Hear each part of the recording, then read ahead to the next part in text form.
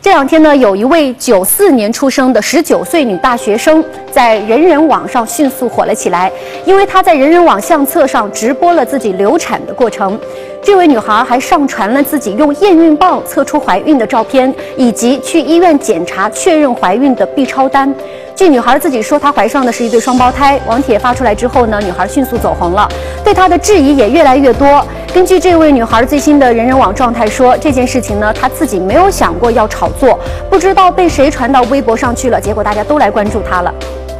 我想，之所以提到这件事情，是因为今天是九月二十六号世界避孕日，这位女大学生需要我们更多人的关心，而我们的教育系统和整个社会都应该反思如何避免此类事件的再一次发生。上海的一项调查显示，竟然有半数以上的婴儿都是因为意外来到了这个世界，所以普及科学避孕知识确实十分的重要。